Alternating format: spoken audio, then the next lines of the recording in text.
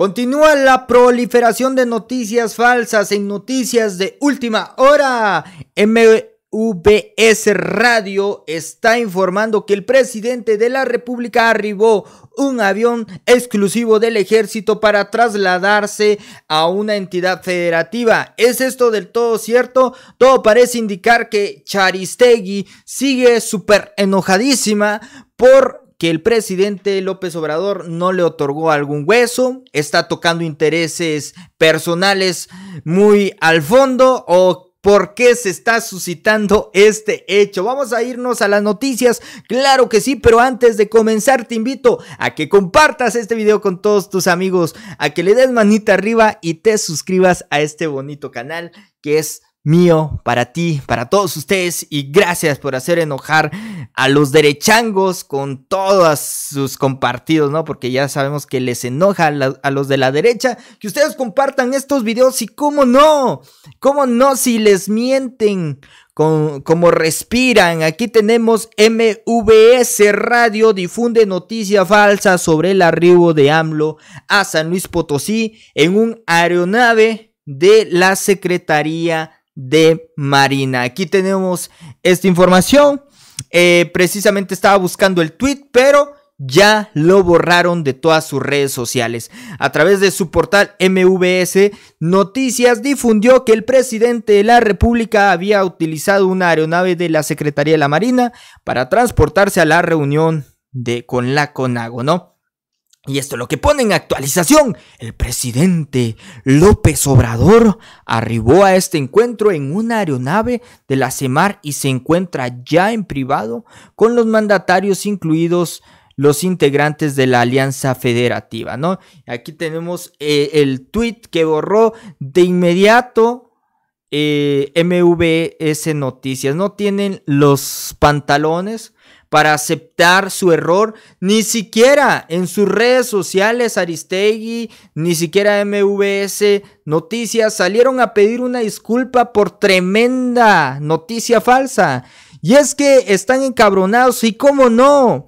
Si el presidente Enrique Peña Nieto gastó miles de millones de pesos en su avión presidencial, una aeronave que imagínense hasta un gimnasio tenía, y ahí no hablaban, ¿verdad? ¿Por qué? Porque en información de última hora también se está diciendo que Emilio Lozoya junto con Luis Videgaray le untaban el hocico a estos periodistas para que no dijeran absolutamente nada. En información de última hora se está filtrando un un documento oficial de la denuncia de Emilio Lozoya ante la fiscalía, donde señala cómo Luis Videgaray Caso le untaba el hocico de dinero a todos esos periodistas. ¿Para qué? Para que se mantuvieran callados. Y es aquí donde entra el poder ciudadano, el poder de usted de decir esta noticia es falsa, es errónea, ¿no?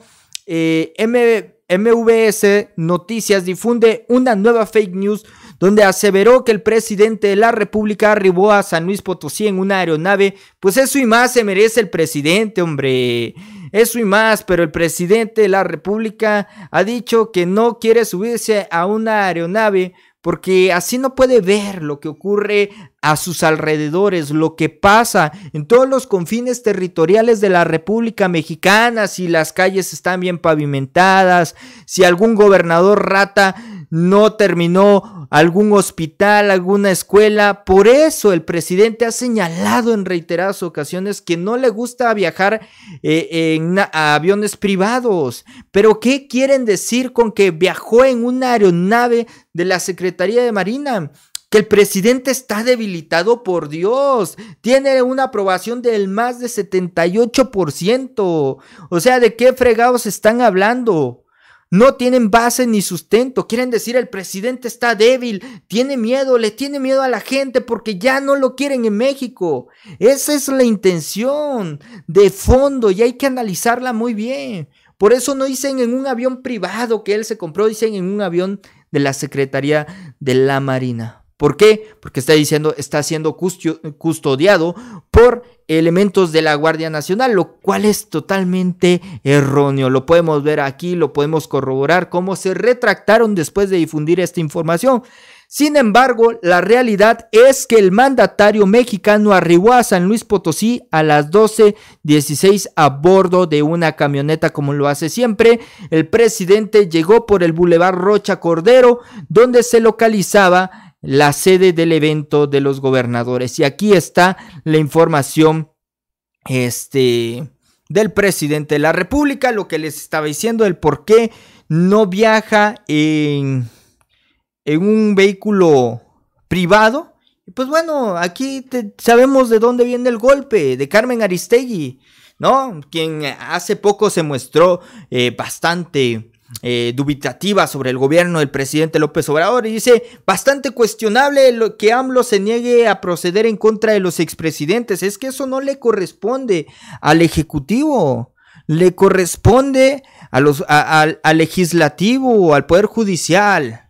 Sin embargo, el presidente Andrés Manuel López Obrador señaló si el pueblo quiere, adelante. Se inicia un proceso de investigación y realmente en noticias de última hora, Salinas de Gortari está enojado por la difusión de esta información de Emilio Lozoya. No sabemos a dónde vaya a parar, pero lo interesante es que lo más probable es que la Fiscalía General de la República, encabezada por Alejandro Gersmanero, los cite para una comparecencia ante el juzgado. Pero bueno, aquí tenemos una vez más también como Carmen Aristegui cuando el presidente López Obrador eh, llegó hacia los Estados Unidos, mostró su línea editorial anti-AMLO y luego se retractó porque las críticas no se hicieron esperar.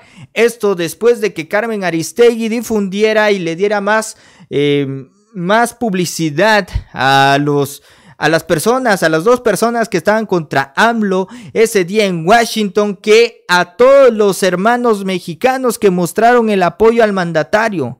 Entonces ahí está la información de Charistegui, ¿no? Hoy quedó al descubierto que al interior de la redacción de Carmen Aristegui eh, hay una animadversión en contra de López Obrador y los simpatizantes de la Cuarta Transformación.